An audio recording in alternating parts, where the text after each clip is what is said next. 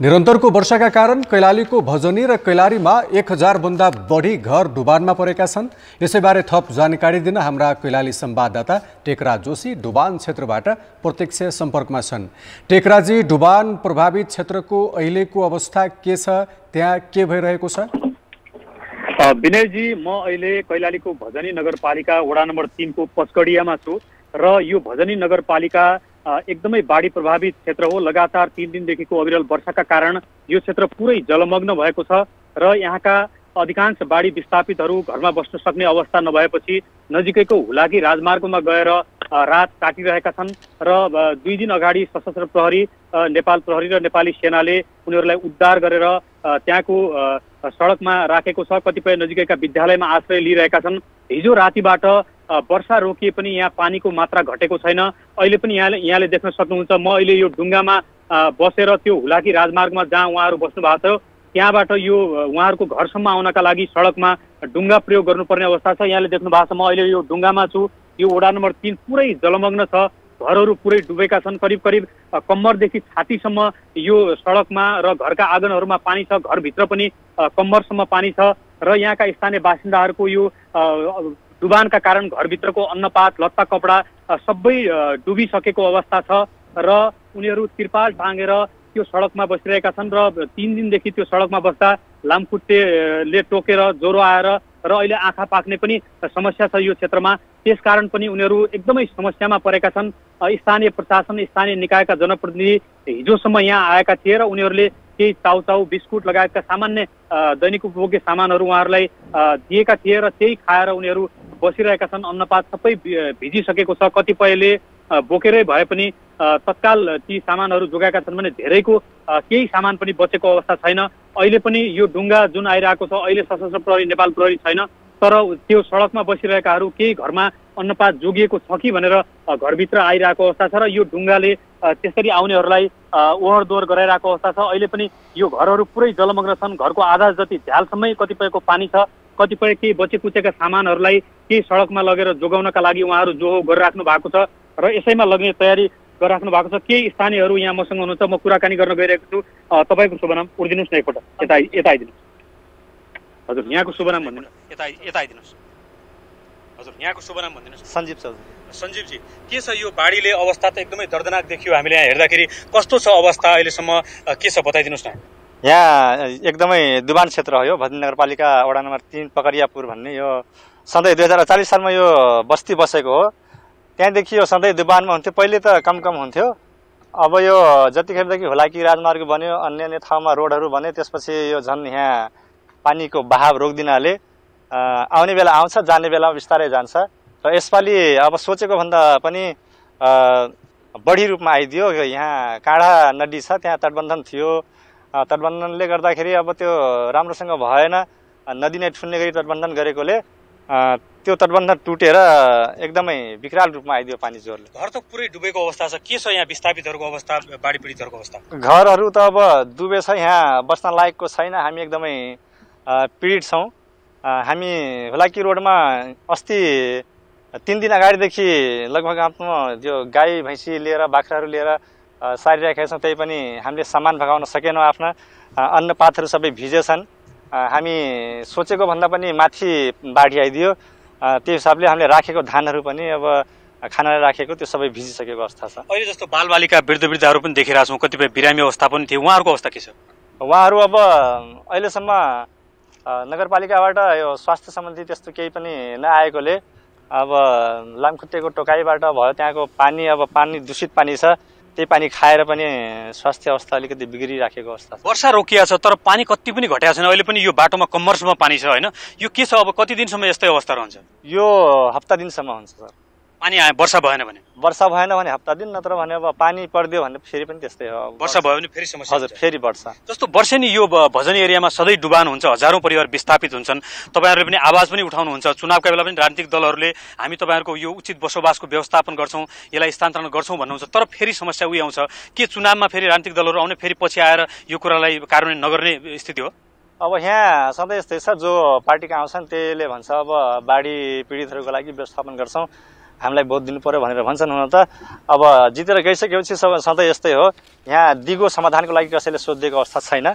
अब त्यही हो सर। के गर्नु पर्ला चौधरीजी? यो यसको स्थायी बसो यो समाधानका लागि के गर्नु पर्ला? अब दिगो समाधानको लागि त सबभन्दा पहिले यो काँडा नदी छ त्यसपछि कान्द्रा छ यसमा उचित तटबन्धन हुनु पर्यो। अब अग्लो किसिमको यो ओभरफ्लो नहुने किसिमको हुनु पर्यो।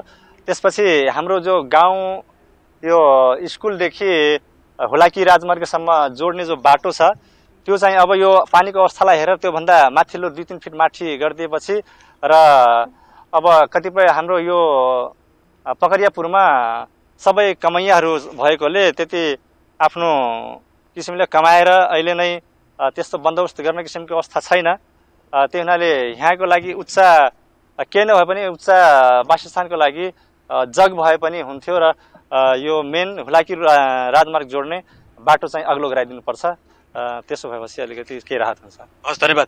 यसरी विस्थापितहरूको अवस्था एकदमै दयनीय छ। यहाँले देख्नु भएको छ यी घरहरू पुरै जलमग्न डुबिसकेको अवस्था छ र यो ढुङ्गाले अहिले यहाँ भएका केही सरसामानहरू ओसार्नका लागि यो ढुङ्गा ल्याएको छ। केही बचे कुचेको सामान छ कि भनेर जो सडकमा बसेका विस्थापित परिवारहरू छन् उहाँहरू यहाँ आउनु भएको छ। हामी करिब करिब यो दुई किलोमिटर यो सडकबाट यहाँसम्म दुई किलोमिटर यो बाटोमा कम्मरसम्मको पानीमा यो स्थानीयवासीकै यो काठको एउटा सामान्य ढुङ्गा छ। त्यही ढुङ्गा प्रयोग गरेर यहाँ आएका छौँ र अब यहाँ विस्थापित परिवारहरू यो अ, बस्तीमा बसिरहेको अवस्था छ उहाँहरू पुरै पानीमै हुनुहुन्छ घरभित्र पुरै जलमग्न छ। हामी तपाईँले देख्न सक्नुहुन्छ विनयजी यो पछाडिपट्टिको यो बस्ती यो पुरै जलमग्न छ। सयौँ घरहरू यहाँ विस्थापित छन् र बालबालिका वृद्ध वृद्धहरूलाई अ, ढुङ्गामा ओसारेर योभन्दा दक्षिणपट्टि दक्षिणपट्टिको भेगमा राखेको छ। र योभन्दा दक्षिणपट्टि नदीहरू पनि छन्। त्यो नदीमा पनि पानीको बहाव उच्च हुने र यो पानी यो हुलाकी सडक र त्यो नदीले त्यही थुनिने भन्ने सुनिएको छ। र योभन्दा पर भारतको एउटा गिर्जापुरी बाँध छ। स्थानीयको भनाइअनुसार त्यो बाँधमा पनि यहाँबाट पानी धेरै भएपछि बाँधका ढोकाहरू बन्द गरिदिने जुन भारतको प्रवृत्ति छ त्यसले गर्दा पनि हामीलाई समस्या भएको छ। ती ढोकाहरू वर्षायाममा कम्तीमा खोलिदिनुपर्छ भन्ने स्थानीयको माग छ। यी मागहरू सधैँ उठ्ने गरेका छन् तर ती मागहरू कहिल्यै पनि पुरा हुने गरेको देखिएको छैन। र फेरि यहाँ एकदमै समस्या छ। यो ढुङ्गा अ, एकदमै अप्ठ्यारो स्थितिमा छ।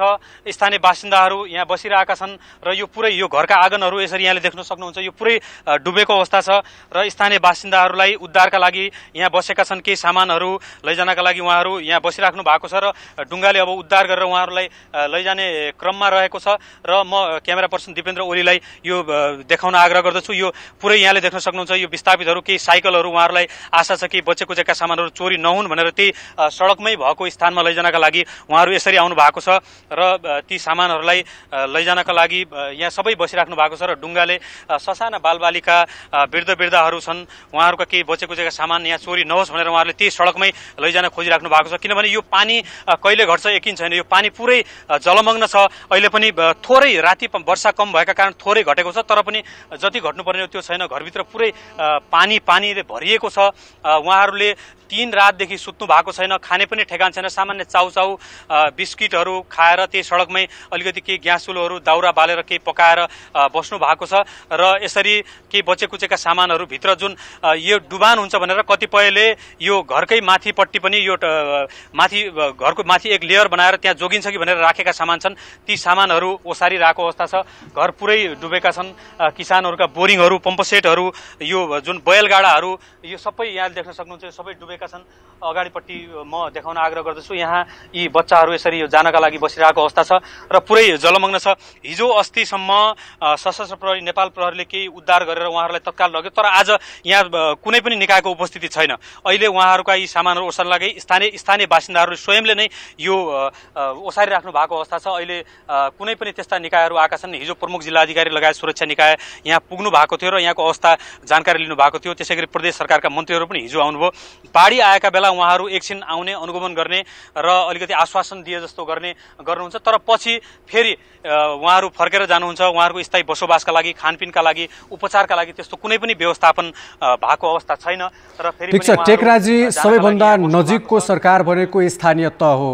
राहत र उद्धारमा स्थानीय तहले कसरी समन्वय गरिरहेको छ? जनप्रतिनिधिको उपस्थिति छ कि छैन? विनयजी प्रदेश सरकारभन्दा स्थानीय तहले केही मात्रामा भए पनि हामीलाई सामान्य सहयोग गरेको छ भन्नुभएको छ। अहिले पनि भर्खरै हामी त्यहाँ आउँदाखेरि यो डुङ्गामा पनि राखेर केही यहाँ चाहिएला भनेर स्थानीय तहका जनप्रतिनिधिहरूले केही पानीका बोतलहरू यहाँ खानेपानी पनि छैन किनभने यो नलका जुन ह्यान्डपम्पको पानी पिउनुहुन्छ उहाँहरू त्यो ह्यान्डपम्प अहिले डुबिसकेको अवस्था छ। र त्यो डुबिसकेको पछि उहाँहरूलाई पानीको पनि अभाव छ। र उहाँहरूलाई त्यो ल्याउनका लागि विनयजी यहाँ देख्नु भएको छ साना बच्चाहरू पनि आइराख्नु भएको छ। उहाँहरू उद्धारका लागि यहाँ पर्खिनु भएको थियो। र अलि यता आउन आग्रह गर्छु। उहाँहरूको यो ह्यान्डपम्प पनि डुबिसकेको अवस्था छ। यहाँले देख्न सक्नुहुन्छ यो बस्ने घरहरू हो। यो पुरै डुबिसकेको छ। अब यो केही झुल्लाउनका लागि काठहरू सडकमा लामखुट्टे धेरै छन्। त्यसरी काठहरू साइकलहरू त्यसै गरी केही बचे कुचेका धान चामलहरू यसरी माथि उहाँहरूले राख्नु भएको छ घरको माथिपट्टि। र त्य- त्यही ओसारी राख्नु भएको छ। र पानी स- सम्म सामान्य दैनिक उपभोग्य सामानहरू स्थानीय तहले जोहो गरेको छ। तर अन्य निकायका जनप्रतिनिधिहरूले यो व्यवस्थापन गर्नु भएको छैन। र जुन हिसाबले उहाँहरूको वर्षेनी यो समस्या हुन्छ यो वर्ष मात्रै होइन ठुलो वर्षात भएपछि वर्षेनी यो क्षेत्रमा डुबान हुन्छ र डुबानका लागि स्थायी समाधानका लागि उहाँहरूले पटक पटक चुनावमा एउटा मात्रै उहाँहरूको आफूलाई भोट माग्न आउने नेताहरूलाई के आग्रह हुन्छ भने हाम्रो कम्तीमा पनि स्थायी बसोबास हो र यो क्षेत्रमा जुन डुबान छ त्यो डुबानको समस्या समाधान होस् भन्ने हुन्छ तर त्यो डुबान कहिल्यै समाधान हुँदैन। उहाँहरूको एउटै गुनासो छ जति जोगी आए पनि कानै चिरेका हुन्छन् उहाँहरूले चुनावमा आश्वासन दिनुहुन्छ फेरि उही प्रवृत्ति दोहोरिन्छ। यही मुद्दा उहाँहरूले उठाउनुहुन्छ यही माग हामीले राख्छौँ। तर राजनीतिक दलहरूले कहिल्यै पुरा गर्दैनन् भन्ने उहाँहरूको एकदमै व्यापक जनगुनासो छ। हामीले त्यहाँ सडकमा बसिरहेकाहरूसँग पनि अहिले केही कुराकानीहरू गऱ्यौँ। उहाँहरूको सबैको गुनासो यही छ। हामीलाई अहिले तत्काल सामान्य चाउ चाउ चिउरा नदिनुहोस् बरु तर हाम्रो स्थायी बसोबासको व्यवस्थापन गरिदिनुहोस् भन्ने उहाँहरूको हार गुहार छ। राजनीतिक दलहरू संघीय सरकार प्रदेश सरकार र स्थानीय सरकार तिनै तहका सरकार छन्। अहिले तिनै तहका सरकार आइसके पनि हामीहरूको व्यवस्थापन भएको छैन। कम्तीमा यो व्यवस्थापन गरिदिए हुन्थ्यो भन्ने हुन्छ। यहाँले देख्नु सक्नुहुन्छ विनयजी उहाँहरूले साग बारी उहाँहरूले लगाएका तरकारी बारीहरू सबै डुबिसकेको अवस्था छ सबै जलमग्न छ। एकदमै यो आर्थिक स्थिति अत्यन्त कमजोर भएका बस्तीहरू थारू आदिवासी थारू बस्ने निकाय हो यो। र उहाँहरूले वर्षभरि उब्जनी गरेर दुःख कष्ट गरेर अरूको खेत बटैया गरेर अधिया गरेर जुन ठेक्का गरेर कमाएको जुन धान गहुँ हो त्यो पनि वर्षभरि खाने धान गहुँ पनि भिजिसकेको अवस्था छ। र यही यो जुन डुबान छ यो डुबानले उहाँहरूलाई अझै गरिब भन्दा पनि झनै गरिब बनाएको अवस्था छ किनभने उहाँहरूको दैनिक उपभोग्य सामानहरू सबै डुबिसकेको अवस्था भएका कारण एकदमै समस्या विकराल छ र कम्तीमा पनि तत्काल तिनै तहका सरकारहरूले अहिले जो उहाँहरू सडकमा बस्नु भएको छ सडकमा पनि अलिकति उचित व्यवस्थापन होस् भन्ने पनि कामना उहाँहरूको छ। किनभने सडकमा अहिले सर्पको बिगबिग छ लामखुट्टे छ वृद्ध वृद्ध बालबालिकाहरू पुरै आँखा पाकेर उहाँहरू एकदमै अस्तव्यस्त अवस्थामा हुनुहुन्छ र उहाँहरूको कम्तीमा पनि अहिले सामान्य यो पानी घटुन्जेलसम्मका लागि पनि व्यवस्थापन भइदिए हुन्थ्यो भन्ने उहाँहरूको माग छ। र यो पानी अब यो वर्षात रोकिए पनि पानी घट्ने अवस्था देखिँदैन। किनभने जुन यो अवस्था छ यो कम्मरभन्दा माथिसम्मको पानी छ यो पानी अहिले तत्काल घट्ने अवस्था छैन। र फेरि मौसम अलिकति मौसम त्यति सहज छैन मौसम अझै पनि कतिखेर पानी पर्छ भन्ने समस्या छ। आकाशमा बादल लागे पनि र आकाश गड्याङगुडुङ गरे पनि उहाँहरूलाई निन्द्रा लाग्न छोड्ने अवस्था छ। र अहिले तिन दिनदेखि त उहाँहरूले निन्द्रा पनि लागेको छैन भोक पनि लागेको छैन। एकदमै समस्या कष्टकर अवस्थामा हुनुहुन्छ विनयजी। हस् धन्यवाद टेकराजी। उनी थिए हाम्रा कैलाली संवाददाता टेकराज जोशी। कैलालीमा बाढीका कारण एक हजारभन्दा बढी घर डुबानमा परेको र विस्थापित परिवारहरूको उद्धार भइराखेको बारे जानकारी गराउँदै